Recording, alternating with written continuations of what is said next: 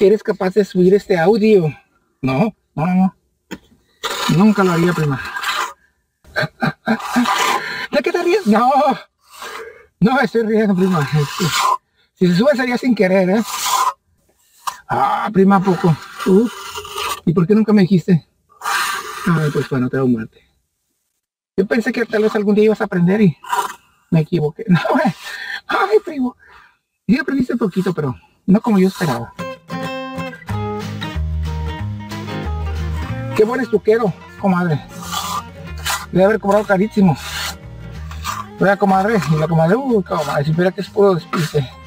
Él ya me lo dijo, sinceramente. Mm, si fuera mujer sería muy bueno para maquillarme. Me encanta disfrazarlo feo. Entonces ya sería una mujer aparentemente guapa. Alguien dirá, no hombre, tú ni con maquillaje, me digo, ah, soy un engañil, pero de los malos. Un engañil. Y de los malos, ah, se convirtió en una cosa terrible. Además que ayer, como ya era noche, se hizo una ligera jorobita aquí. Hay que quitársela. A ver si se la quitamos o no. A ver si se la quitamos o no se la quitamos. Cuidado con esa jorobísima.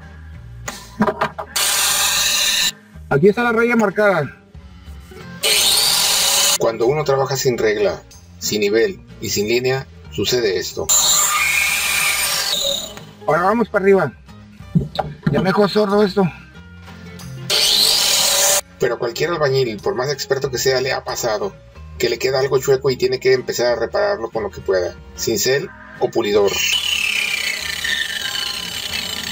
Y primero hay que examinar muy bien, porque cuando queda la duda hay que disiparla. Tal vez preguntarle a algún maestro experto. Bueno, ahí quedó bien. Vamos con lo que sigue. Ahí está la raya. A ver, le voy a dar una pasadita por acá, por este lado. En ocasiones como esta, a veces hay que fijarse muy bien y hacer un plan y otro plan y luego preguntar y regresarse. Un poco más profundo, pues si ya me quedé sordo. Ah, caray. No sé por qué, pero me quedé sordo. La última emparejada y luego con el cincel. Eso es para haberlo hecho en la noche. Así que no, no anden trabajando en la noche nunca. Cuidado. En la noche nunca debe trabajar uno. Aquí está la prueba. Ah, qué barbaridad. Es verdad, muchachos, en la noche no. Mejor experiencia el otro día. Ah, qué barbaridad. Aunque normalmente esto no lo platica ningún maestro. Bueno, tal vez porque nunca les ha pasado. Vamos a traer el cincel, ahora sí. Ahí va la cosa. Vamos a traer el cincel y el martillo. Yo. Ah. Bueno, algo que sirva sirvió. Por siempre hay que nivelar. Y en la noche no se puede hacer eso. Nunca hay que trabajar de noche. No hagan lo que yo hice. Pero sí se puede arreglar, miren. Si uno quiere. ¿Cómo reparar una pared chueca? ¿Quién enchuecó? Otro albañil que vino. Primero hacemos las cosas chuecas y luego las tenemos que emparejar. Ah, qué tristeza. Ah, aquí hay un fierro. Qué parejito. Pero aquí como que hay un fierro, no sé por qué sea, no sé. Está tan duro el cemento que parece fierro, pero no es fierro. Es puro cemento duro.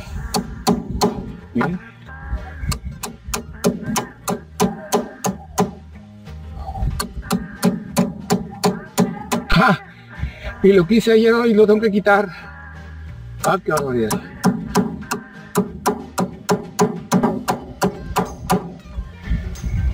Bueno, pues ahí quedó. Hasta aquí llegó, miren. Ahí se ve la línea. El que quede bonito. Alguien diría, pero atrás para qué?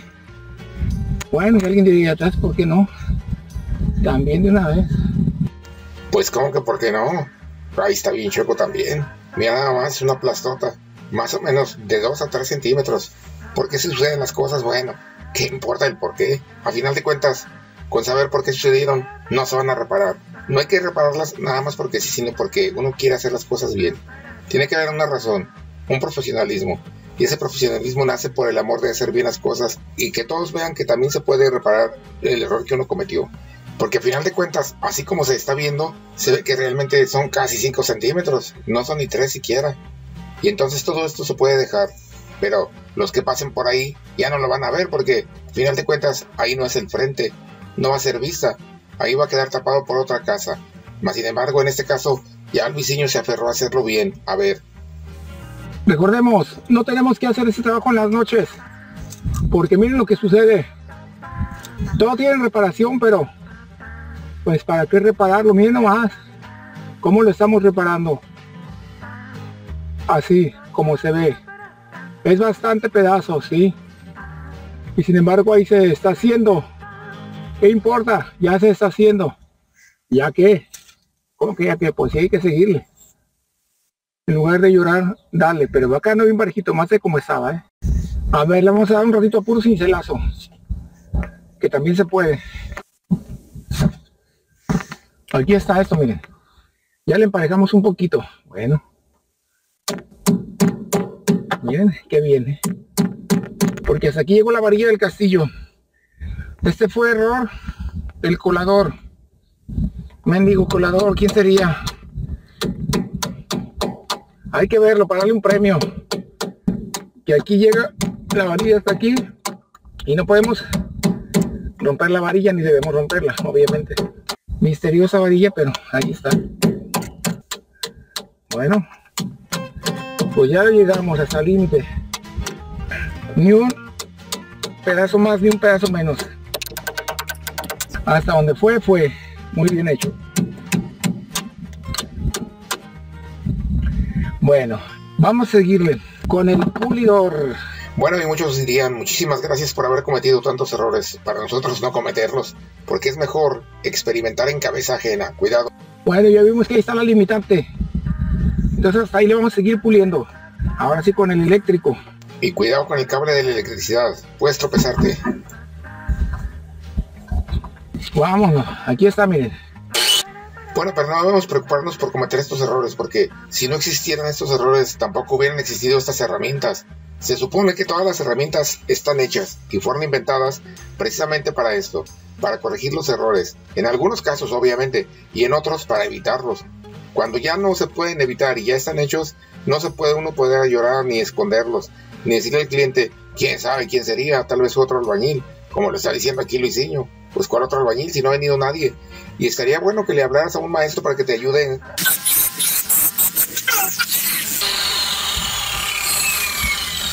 Aquí está mi niño carpinteratísimo. Miren, mi niño carpinterazo. Aquí me está ayudando. El acuyo, mi bebé. Niño tan mocho. Mira, mi hijo. Mira, mi bebé. Ya quedó, vamos a echarle su yeso. A ver. Entonces aquí sí el momento en que no tiene uno que hacer otra cosa más que adaptarse a lo que hay. Bueno, vamos a adaptarnos. Hasta aquí tiene que llegar, miren. Ahora sí. Más no lo vayan a decir más adelante porque sería mi ruina como albañil. Ándale. Ya nadie me contrataría. De por sí nadie me ha contratado desde que empecé. Y esa es en super teoría, otra vez. Pero ya está agarrando fuerza forma y seguridad. Miren, la maña aquí es para enderezar las cosas que uno mismo echó a perder. Ah, qué cosas. No, pues con esas declaraciones, ¿quién me contrata? Híjole, pero más vale, más vale decir las cosas que, que mentir, muchachos. Preferible que digan, no lo contraté, pero por lo menos le llevo una torta, porque me dijo la verdad a decir, híjole, me hubiera dicho la verdad. Ahora ni torta ni nada le llevo. Ahora que le llevo una torta a su abuela, cuidado. Y sí, se da razón porque pues, ¿para qué voy a decir que soy albañil? Mejor digo que soy todo un engañil. De los malos, de una vez. De ¿para qué sinceridad? Soy un engañil, pero de los malos, no de los buenos, hijo. Un engañil. Y de los malos, ah, se convirtió en una cosa terrible. Vamos con el que sigue, muchachones. Vamos hacia arriba. Y cuidado, ¿eh? Aunque ya no hay regreso. Ya está secando. Así que agarrar de mucho, miren. Y una vez de mucho. Pero ya nada más para darle la línea. La nivelación. Y el estuco se encargará de lo demás. El estuco también tiene su papel. Cada quien tiene su papel, mire. El yeso es uno y el estuco es otro. ¿eh? Algunos confunden. No, no. Los maestros, ¿cómo van a confundir? Y si sobra, que sobre. Pero si falta, que no falte. Cuidado. A ir emparejando lo chueco. Ah, caramba. Pues, o no, sí. O por lo menos a despistarle. Que con eso nos damos por bien servidos. ¿Cómo enderezar algo chueco sin que se enderece realmente? Exactamente, a puro, a pura vista, a pura apariencia. Y es válido, porque al final de cuentas lo único que cuenta en la vida es la vista. Mismo que las vecinas y los comadres vayan a tener su, su cinta de medir para ver si quedó bien eso.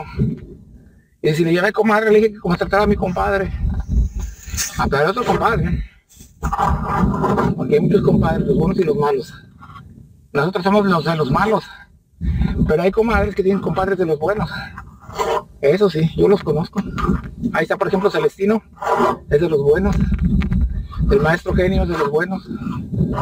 Y de es mi compadre, el maestro genio. El ah, maestro genio, pues es mi compadre. A mí con que me quede bien, aunque sea el más mentiroso del mundo, no me importa.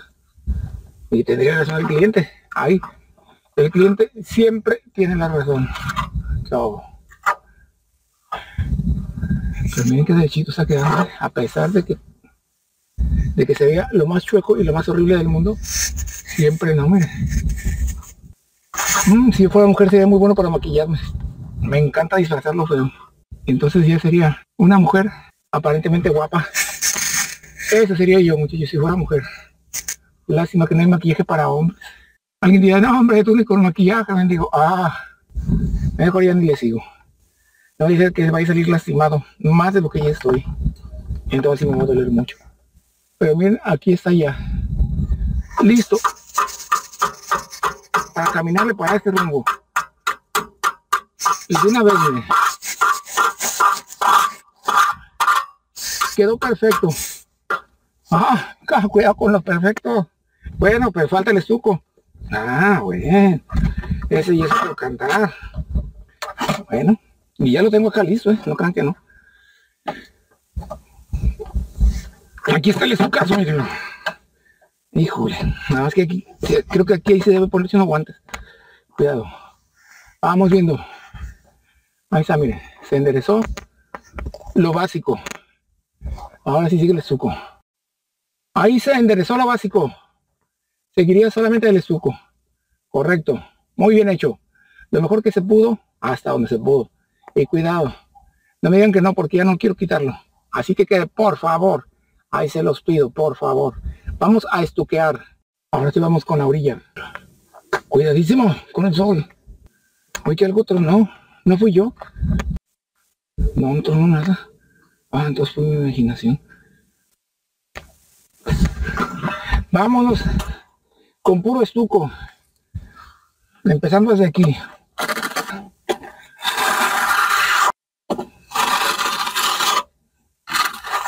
Y también el estuco es bonito, ¿eh? porque miren, aplana lo que el yeso no pudo aplanar. Ah, caray. Eso es muy bonito, ¿eh?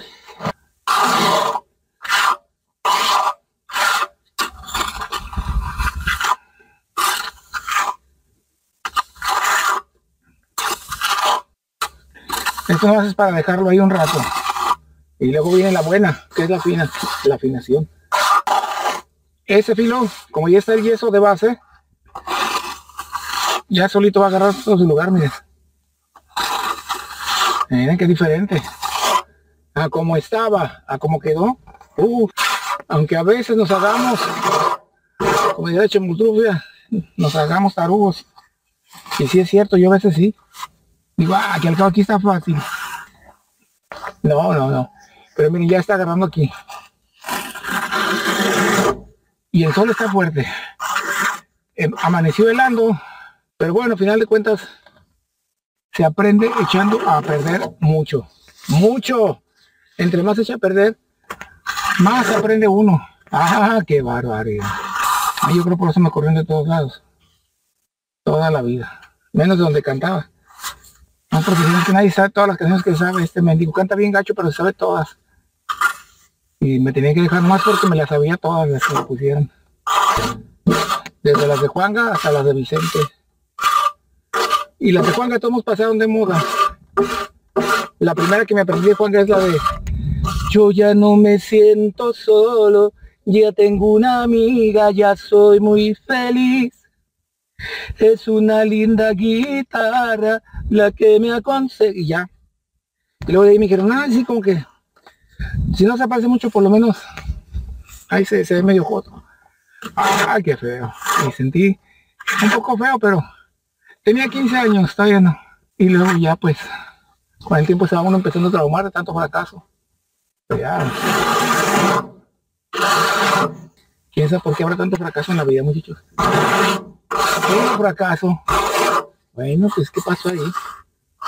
Es que uno ya de que nace así, medio mal de su mente. No crean, eso ya es de nacimiento aprendí un poco de, música, otro poco de inglés y albañilería, casi nada. Y yo me di cuenta que los albañiles eran muy felices porque todo el mundo los quería. A los cantantes no, porque pasan de moda. Oigan, pero es que yo soy Luis Miguel, sí, pero ya no estás tan de moda. Por digo, tú, de Luis Miguel. Ahora con Luis Miguel y todas las chicas. ¡Ah! Y ahora ya no. Bueno, todavía, pero ya no tanto como antes. Ahora ya más las señoras de la de Luis Miguel. Ya las chicas pues ya ni lo conocen siquiera. Nomás conocen a su hija. Los muchachones enamorados. Michelle Salas creo que se llama. O no sé. Yo siempre invento nombres. Tal vez ni siquiera esa, esa. Pero según mi memoria, esa es la hija de Luis Miguel. Ya ni sé, muchachos. Ya para qué. Ya para qué me, me, siguen la corriente. Ya mejor. Les suplico que no me sigan la corriente. Porque se me voy a volver más loco cada vez. Bueno, esto ya quedó la primera mano. Le falta la segunda. Donde se pareja lo chueco y se le da el, último finish. Lo bueno. En donde se va a decir quedó como quedó. Ahorita bien, ¿no? Aquí todavía se pueden preparar bastantes cosas. Ah, cómo cambió todo con esto, muchachos. Miren con la pequeña reparación que hicimos. Porque parece tan parejito que todo el mundo dijera, wow, qué buen estuquero, comadre. Debe haber cobrado carísimo. Vea, comadre, y la comadre, uy, comadre, si espera que es puro despiste. Él ya me lo dijo sinceramente. Ay, comadre, pero se ve muy bien. Sí, comadre, pero acuérdense, es como nosotras, nuestro maquillaje. Ah, sí, comadre, mejor ya no hay que hablar de ese tema. Ah, ¿verdad, comadre? Sí, comadre, ya, ya déjelo así, que usted usa más que yo. Ah, acuérdese bien. Eso le dijeron a mi prima Huichita. Y se puso muy triste, por eso nunca se casó. Ya vas a empezar a hablar de mi Luciño. No, uy, prima, tú donde quieras andar. ¿Por qué no te vas a hacer un quehacer de hogar? No? Es que me encanta la construcción, si tú ya bien sabes. Ah, es cierto. Y si le sabes, sí, yo sí le entro. Acuérdate, es como, como Elvia. Ah, sí es cierto. Elvia ya sabes que es muy buena para la, para la construcción. No, pero no cualquiera, prima. Es cierto, Luisinho, eso ya lo sabemos tú y yo. Pero eso no hay que decirlo porque porque eso no se nos da a cualquiera. Más a las que somos bien intrépidas. Bueno, mira, pero, pero mira, sobró. No, no sobró, señor. Dale la vuelta para el otro lado. Oye, primo, si quieres que echarle aquí un cachito. Ándale, pues, pero no es un cachito. No, mira, primo, si quieres para emparejarle acá, hombre. Ay, señor, siempre te picas. Bueno, primo, pero más vale que, que me pique a que sea flojo, ¿no? Eso sí es cierto, primo. Bueno, con permiso, me voy a hacer mis trabajos escolares. ¿A poco estás en la escuela, prima? Ah, ya sabes. Ya sabes que aunque tenga una edad avanzadísima, que no te voy a decir, ni me vais a decir. Porque entonces yo digo la tuya. Ah, no, prima, no. Así lo dejamos. Bueno, prima, vete a hacer tus labores ya. No hay de que se te ocurra decirlo. Y entonces vas a hacer que me avergüenza. No, Luis, señor, le das no es vergüenza. Ay, ¿tú cómo no la dices, prima? Ah, es que yo soy dama. Acuérdate que las damas no tenemos edad. Ay, prima, ¿y por qué los hombres sí o qué? Ay, pues así la ley. Ándale pues, prima. Ya vete a hacer tus hacer, por favor. Uy, se me hace que me estás corriendo porque tienes miedo que te saque tus trapitos al sol. Eso sí, sí. No me gusta que me saquen mis trapitos al sol porque me da muchísima pena. Ah, ¿verdad? Sí. Sí, sí, sí, tú me tienes razón. Ay, disculpa todo lo que te he dicho. Bueno, está bien, te disculpo por esta, pero no lo vuelvas a hacer. Ay, primata. Ándale pues, primata. No es que te corra, pero ya vete. Ay, está bien, mi señor, está bien. Te dejo haciendo sus trabajos. Que has mejorado bastante. Ah, como empezaste, dabas pena ajena. Ah, prima, poco. ¿Y por qué nunca me dijiste? Ay, pues bueno, te muerte. Yo pensé que tal vez algún día ibas a aprender y me equivoqué. No, ay, primo. Sí aprendiste poquito, pero no como yo esperaba. Bueno, prima, ya váyase pues, por favor, hombre. Sí, primo. Gracias. Si no vais a decir mis secretos, te lo prometo, prima. No digas mis secretos, que son secretos secretísimos, ¿eh? Ay, prima, ¿cómo voy a andar diciendo? Ay, y de seguro tienes cámara escondida ahí. No, prima, esto no lo estoy grabando. Ay, más que vale. Porque ya te conozco, ¿eh? Con tal de hacerme quedar mal y tú quedar bien, eres capaz de subir este audio. No, no, no. Nunca lo haría, prima. ¿De qué te ríes? No. No, estoy riendo, prima. Si se sube sería sin querer, ¿eh? Además, tú te pareces tanto a mi prima que no puedes engañarme. Dicen que tú y yo somos uno mismo. Ah, y eso le dice al narrador. No, no, no. El narrador y tú sí somos uno mismo, que no te hagas. Si yo me hace tus secretos. Ah, pero tú y yo también somos uno mismo, prima. Ay, no. Brincos dieras. Ah, oye, prima. Tampoco te creas tan bonita. Ay, no. No es que me crea muy bonita. Es que te estás bien feo, primo. A la camita, váyase ya a dormir, prima. Y también no es hora de dormir, pero ya váyase a dormir, hombre, a lo que tengan que hacer. Bye. Y ya váyase, prima, porque yo tengo que darle la vuelta aquí y luego emparejarle aquí. Ah, qué prima tan latosísima. No le recomiendo tener una prima como la mía. Saque ese prima loca. No sé que dicen que se parece mucho a mí, ¿eh? eso sí es cierto. Es guapísima mi prima, pero más que tiene su edad. Si hubiera sido de joven, tal vez sería hermosísima. Pero ahorita ya pues, que ya le, se le vino encima. Creo que es hasta como unos 20 años mayor que yo. Ay, no dijera. Ay, disculpe, chismes. Híjole, si supiera que estoy chismeando todo, se va a enojar conmigo. Este video nunca lo voy a subir. Nunca voy a subir este video, ¿eh? Bueno, de este lado ya se emparejó, pero falta la buena, ¿eh? No se ha emparejado todavía. Mira, eso como que no se ve muy bien. Mejor habías de hablarle a un maestro estuquero que te dijo la otra vez que si te ayudaba. Por esta vez, acéptale la oferta. A ver, búscalo y dile que por favor, que aceptes la oferta porque tú sabes que tú no eres bueno. Aunque sea una vez en tu vida, a ver qué aprendes. A ver, háblale.